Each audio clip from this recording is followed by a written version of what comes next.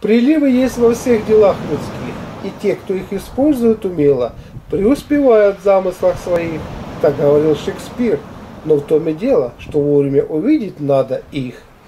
И вот мы с вами поговорим, как увидеть эти знаки, чтобы преуспеть в жизни. 9 ноября, день Нестора. Поминают сразу несколько Несторов. Салунского, летописца, Некнижного, Печорского, в дальних пещерах. Нечестивый царь Максимиан, придя в город Салун, стал хвастать своим силачом, который на потеху убивал христиан. Юноша Нестор, крепкий телом, красивый лицом, воспылал ревностью и вознамерился вступить в борьбу с этим силачом. Помолившись, Нестор схватил его как птицу и сбросил великана с высокого помоста на острые копья. Согласно народному календарю, в этот день реки и озера покрываются первым ледяным покровом. Наступают ощутимые морозы. В старину этот день называли обетами. Существовал обычай сегодня давать обещания за руки, которые надо было обязательно выполнить. Обычно такие обещания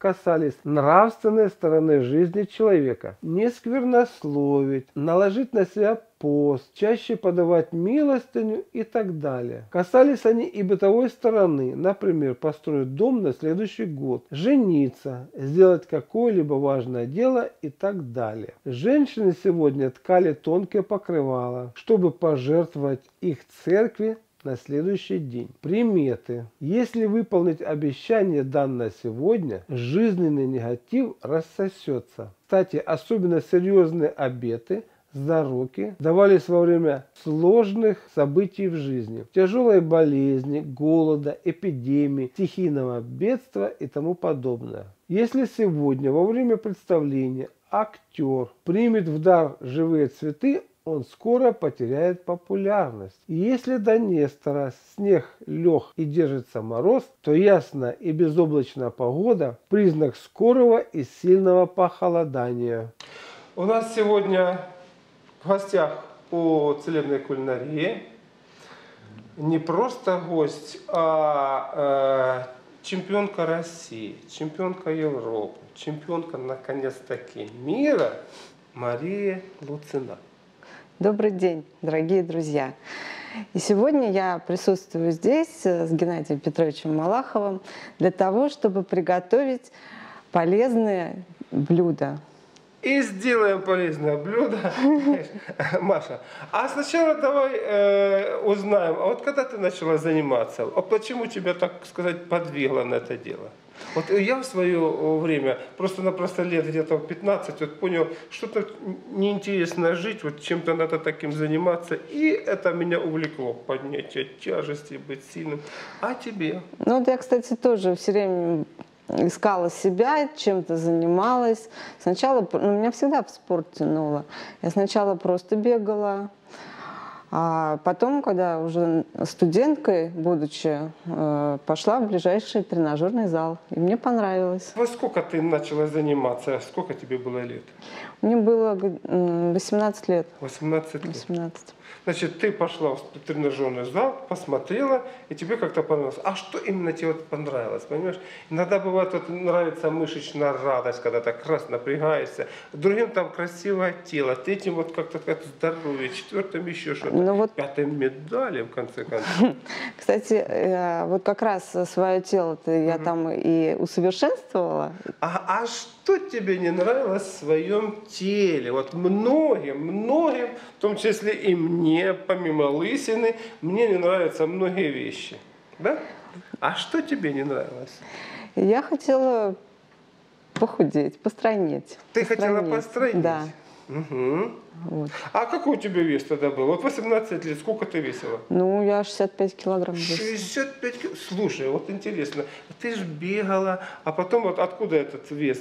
На какие дистанции ты бегала? Ну, я вот неправильно, я не следила за своим питанием. Ага, вот, не следила за своим питанием.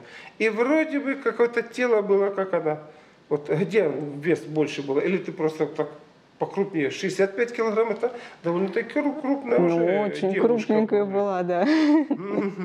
Вот. И просто тренеры мне объяснили и питание, и тренировки. Ну, так как я всегда насчет тренировок была очень усердная, вот, за Любила этим делом, тренироваться, да, за этим делом не встала.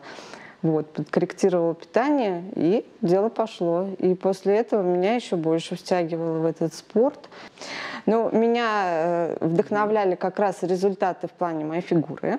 Она совершенствовалась, мне это очень А вот- нравилось. Вот, что, вот что, как бы сказать, вот совершенствование пошло? Где ты увидела изменения и что тебе понравилось там, ну, допустим? Вот тонус появился в Тонус. мышцах. Я Тонус. чувствовала, что у меня мышцы То есть ты сильнее стала? И- и посильнее становилась, да. И как говорил товарищ Сталин, жить стало интереснее, да? Да. Когда жизненный тонус есть. И потом уже со временем все равно тянуло уже в зал. То есть если были перерывы, а, меня тянуло в зал, мышцы уже Хорошо. хотели вот тонус, тренироваться. а дальше, а внешне что тебя вдохновляло? А внешне это сброс веса, Сброс лишнего веса. То есть ты как как скульптор так на начала стучать, и фигурка так лишний мрамор отпадает, она все э, э, рельеф, Естественно, были и сбои, то есть когда я давал себе перерыв, а, вес опять приходил. Вот. Ну, Слушай, а вот посторонние люди, они же замечали, вот какие с, с тобой происходят изменения, они, как бы сказать, смотрели на тебя так, так, так, а, а Маша-то, смотри, а была-то, ё-моё, на каблуках ходила, сейчас там на шпильках или еще на чем-то, или там э, в штанах, а теперь там, э, смотри, э, юбочка покороче стала, там еще.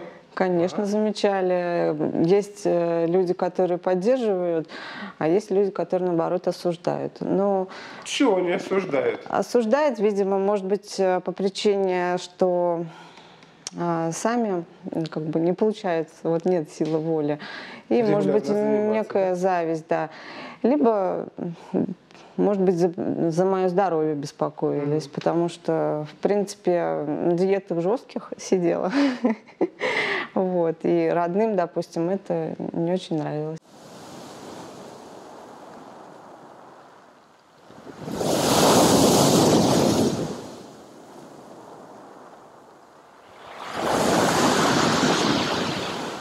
Тринадцатые лунные сутки. Дело идет к полнолунию. Приливная волна в океане вновь набирает силу, а в организме усиливается циркуляция всех жидкостных средств. Крови, лимфы. Усиливаются обменные процессы в организме, ведущие к его обновлению и омоложению. Что касается энергетической активности, то есть энергия находится в пищеварительных органах, от работы которых во многом зависит обновление тканей. Чтобы максимально использовать особенности этих суток, ешьте только свежую пищу. Пейте свежие соки, обновляющие кровь, яблочный и свекольный. В готовые блюда добавляйте по горсточке проросшей пшеницы. Приветствуются совместные действия, направленные на получение и обмен знаний.